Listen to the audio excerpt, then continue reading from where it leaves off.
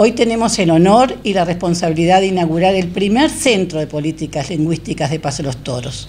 Digo honor porque sé que es un reconocimiento a la dedicación y esfuerzo de todos los que integran esta comunidad educativa. Pero si bien me llena de alegría, no me olvido la responsabilidad que estamos asumiendo, dejando en claro que esto es nuestro punto de partida, el cual debe ir mejorando día a día como nuestro centro. Este es un programa o es un proyecto que es totalmente novel y es novel en dos aspectos. Es novel porque surgió desde los actores educativos, que muchos de ellos están hoy acá, y también surgió desde la, desde la comunidad, desde la necesidad porque se consultó a la comunidad para saber qué lenguas o qué idiomas querían aprender.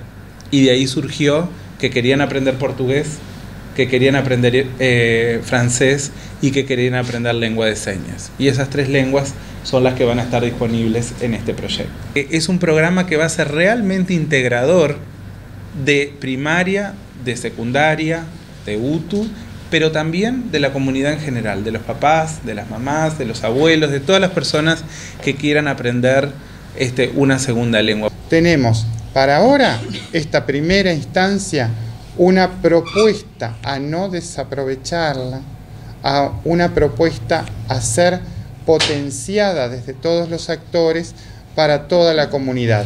Tal vez en otra oportunidad se desarrolle en otro espacio físico, pero aprovechemos que hoy lo tenemos acá, en el Liceo 2, físicamente, aunque es para toda la comunidad isabelina.